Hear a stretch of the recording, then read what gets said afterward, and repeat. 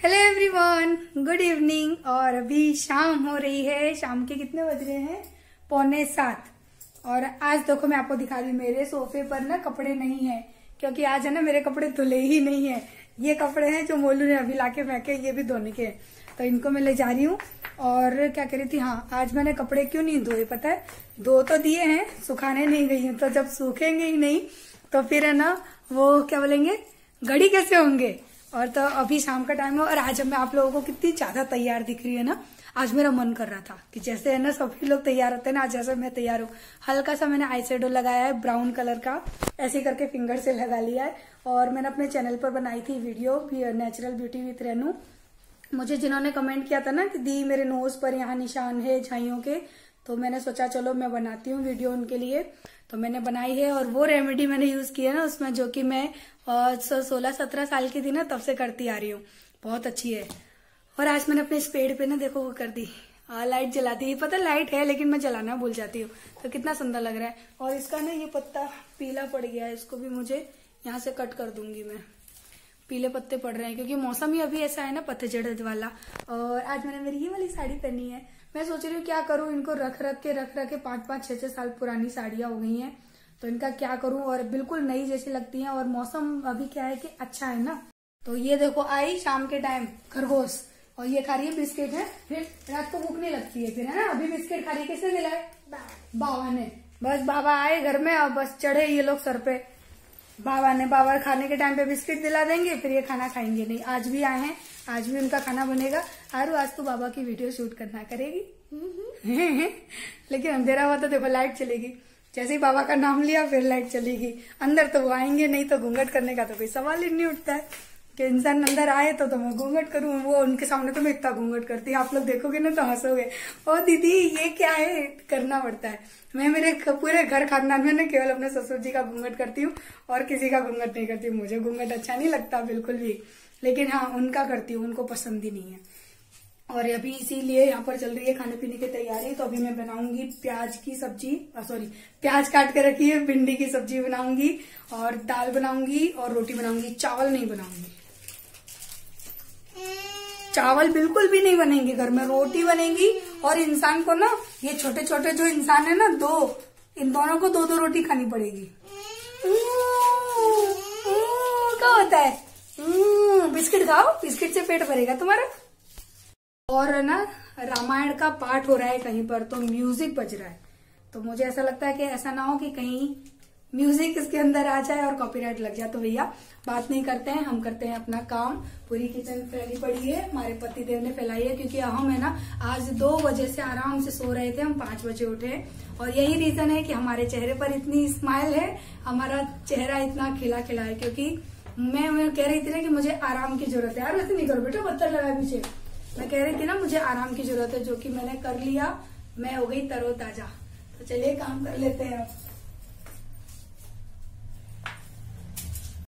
तो अभी मुझे ना ये भिंडी चाय लेकर आए हैं ये मुझे धो के साफ़ करनी है क्योंकि मैं हमेशा धो के पहुँच के उसके बाद भिंडी बनाती हूँ ताकि वो चिपचिपी ना बने।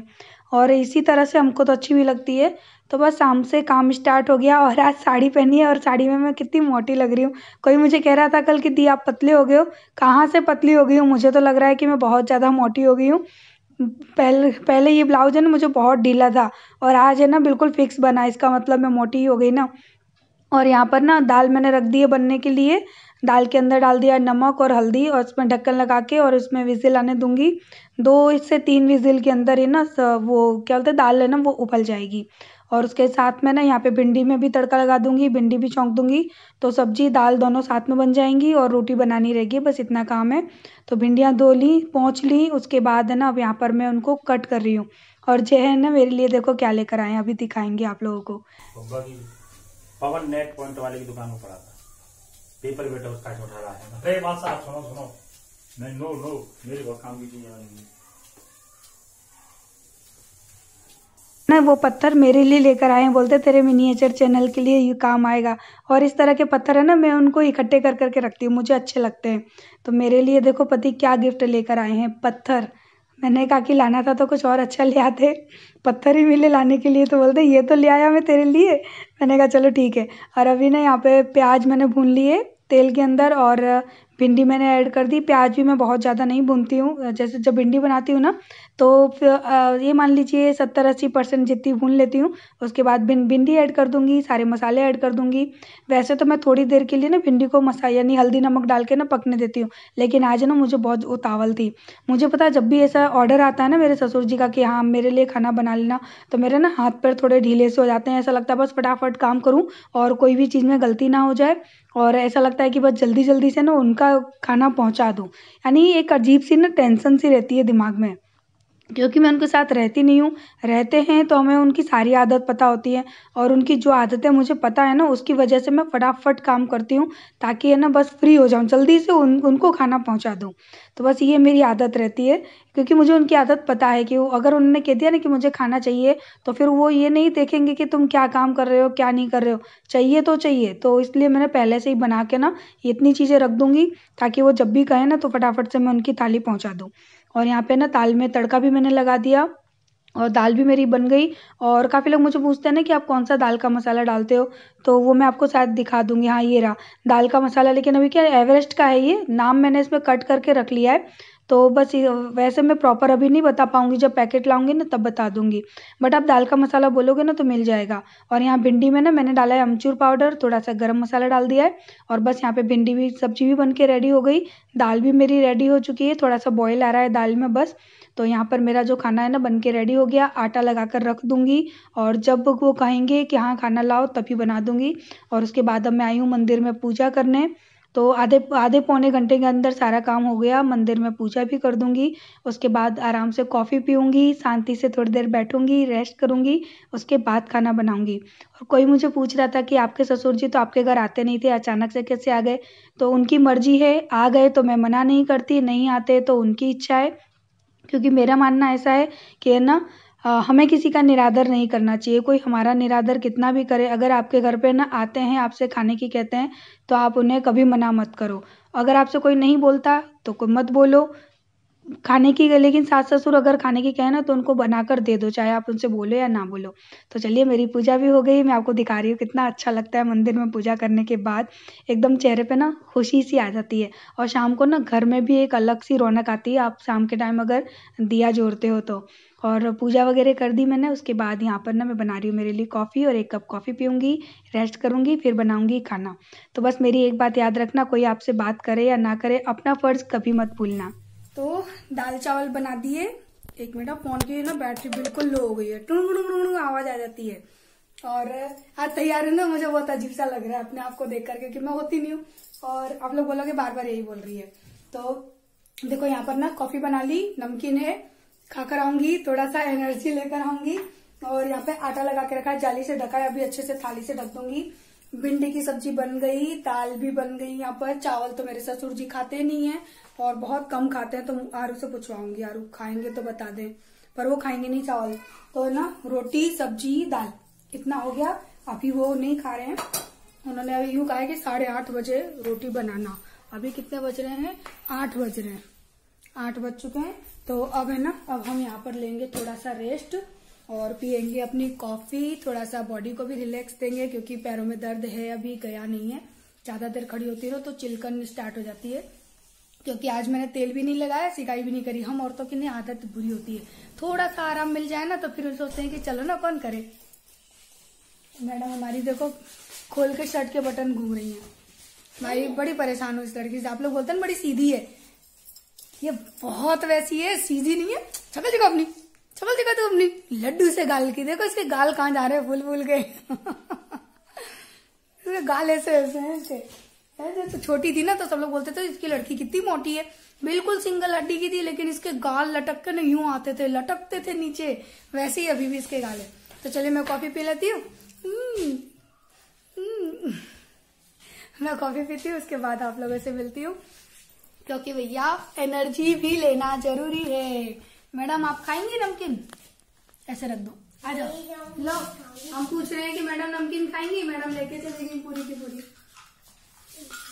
माँ को तो खिला दो। नीचे रख दो। तेरे कान मुझे बड़े अच्छे लगते हैं। हम्म,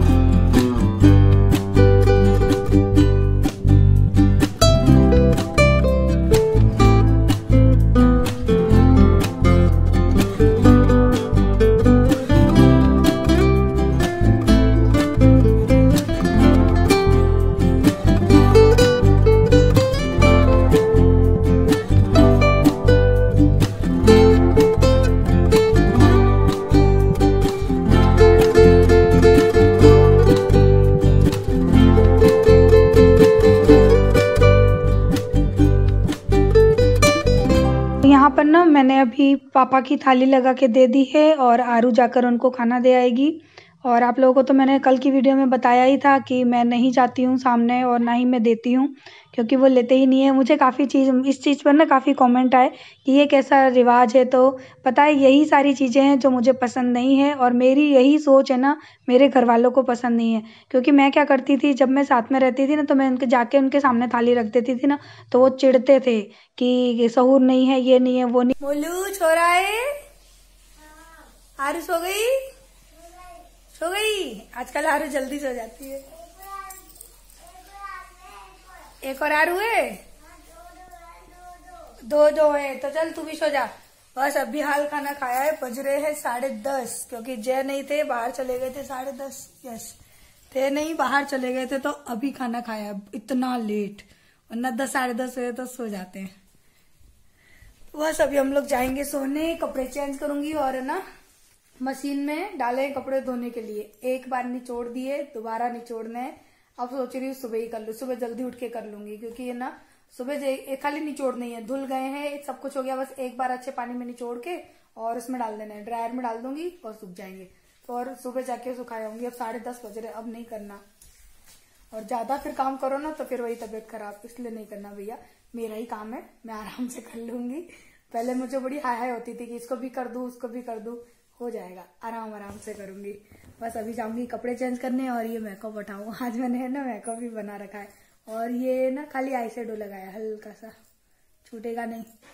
आपको ज़्यादा लग रहा होगा रियल में कुछ भी नहीं है। अच्छा लग रहा था आज। साड़ी पहनी ना रात मन कर रहा था करने का, इसलिए किया।